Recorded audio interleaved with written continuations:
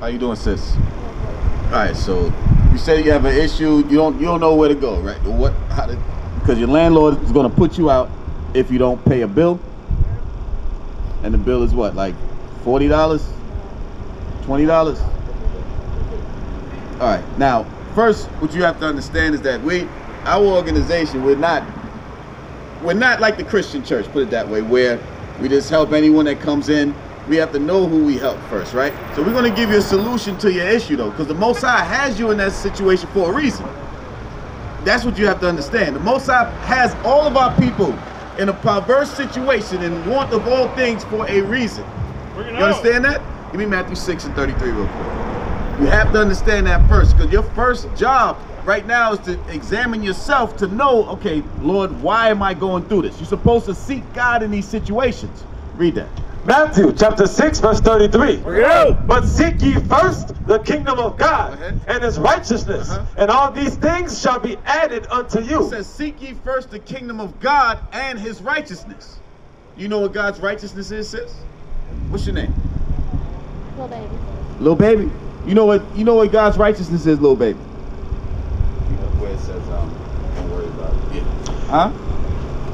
You know what God let's get God's righteousness real quick. We're gonna show you what God's righteousness is and see if you really want the help that the most high is, is trying to give you by having the prophets out here to, to teach you the Bible and to in order for you to get closer to your God. Right? Read. Deuteronomy chapter 6, verse 25. Bring it out. And it shall be our righteousness. It shall be our righteousness if we do what? if we observe to do all these commandments which before the Lord our God as he hath commanded us. Right. So Most High's righteousness is to keep God's laws, statutes, and commandments. Right. Right. So Christ said, Seek ye first the kingdom of God and his righteousness, and all these things will be added to you, right?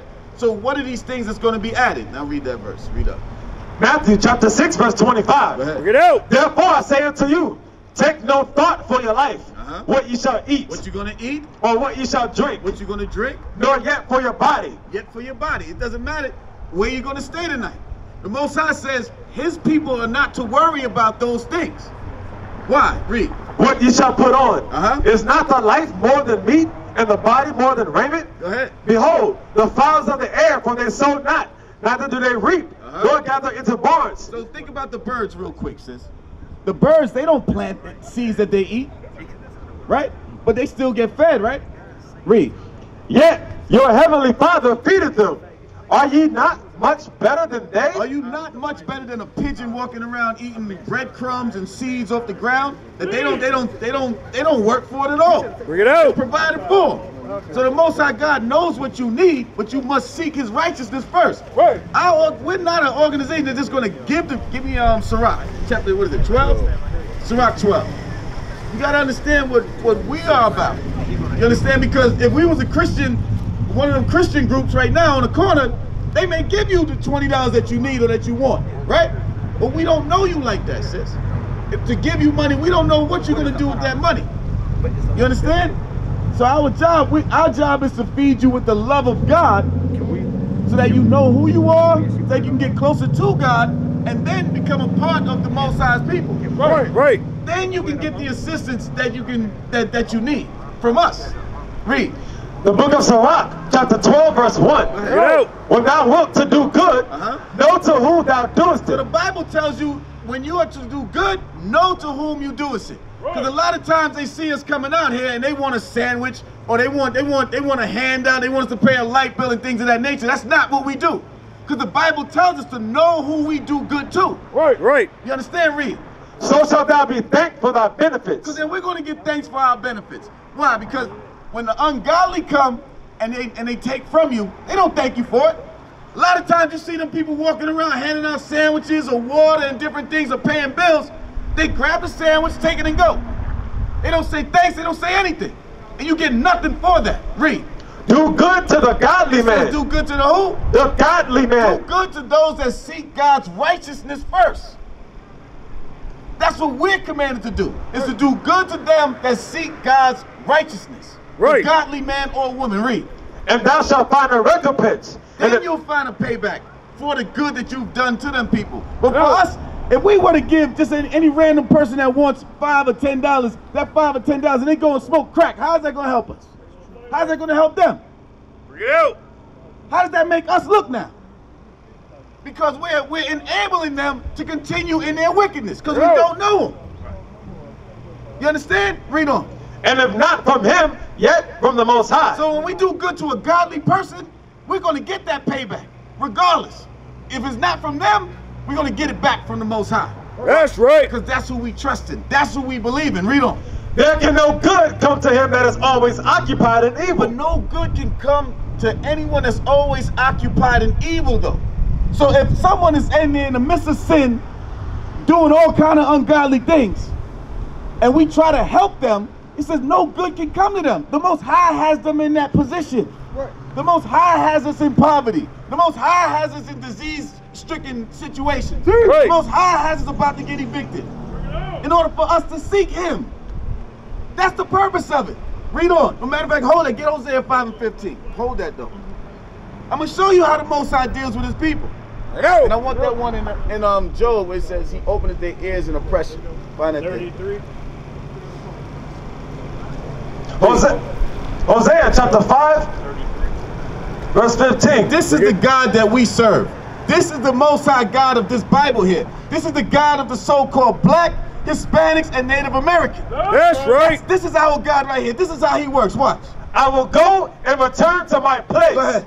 till they acknowledge their The Most. High God said He's going to go and return to His place. So we read in Matthew 6 that He provides for us liberally as long as we seek them. 36. The birds don't got to worry about what they eat. The birds don't, the, the, the, the lilies don't have to worry about what they wear. They don't have to worry. If you seek God first, He's going to take care of you. But if you're not, He's going to do this. He- Read it from the top. I will go and return to my place Uh-huh. till they acknowledge their Because offense. part of you being a godly person and seeking the kingdom of God first is acknowledging that you that you're in sin, that you're not Yo. keeping His laws, statutes, and commandments. Read.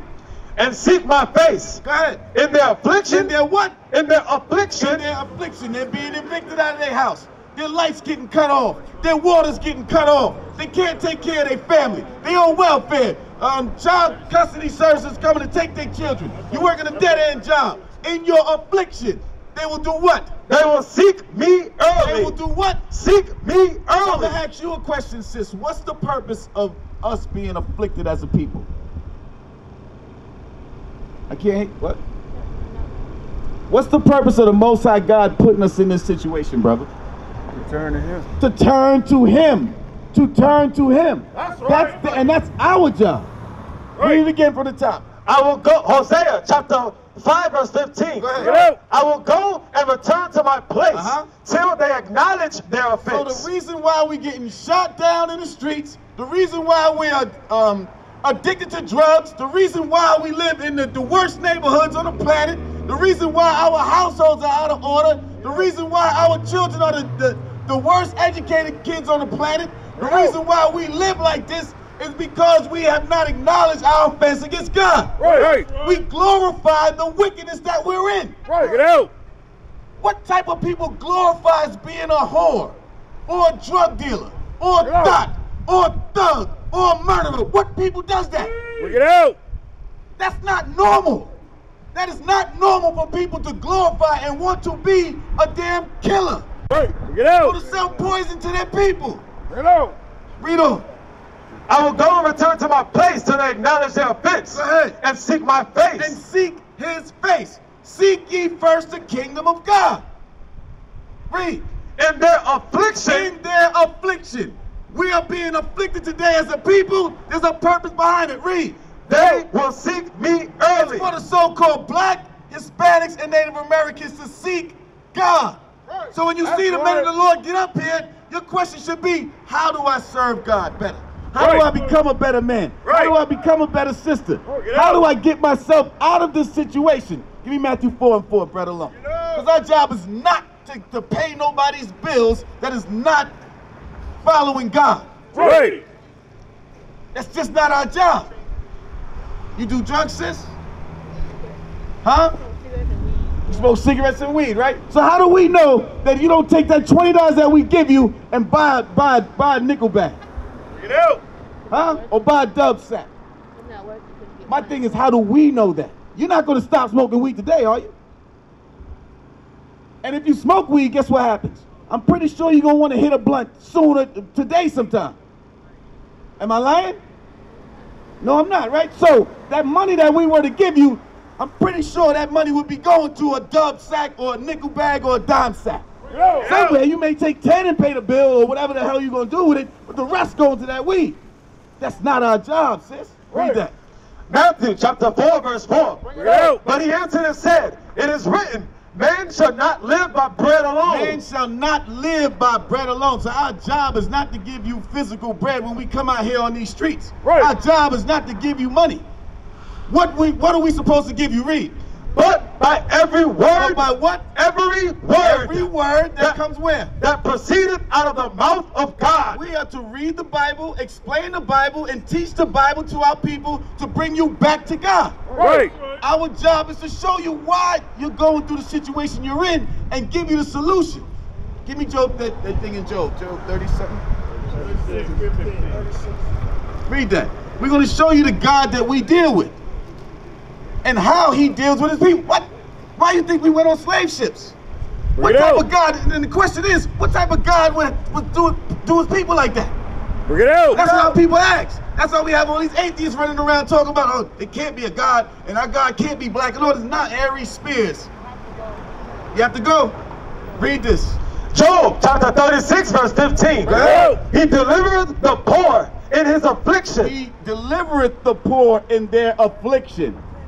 He openeth their ear in oppression. Read. and openeth their ears. He does what? Openeth their ears. How? In oppression. In oppression. That's why our people are being oppressed by God. Right. God has us like that because of our own wickedness, and it's also to open up our ears. Right. Open up our ears to the understanding of the Most High God, how God works and what He requires of us. Now go back to Sirach 12. Then you come back up. The book of Sirach, chapter 12, verse 4. Go Bring it ahead. out. Give to the godly man. We are to give to the godly man or woman. The, the godly man or woman that is seeking God's laws, statutes, and commandments that we know is going to do what they say they need with the money or the, whatever we give them.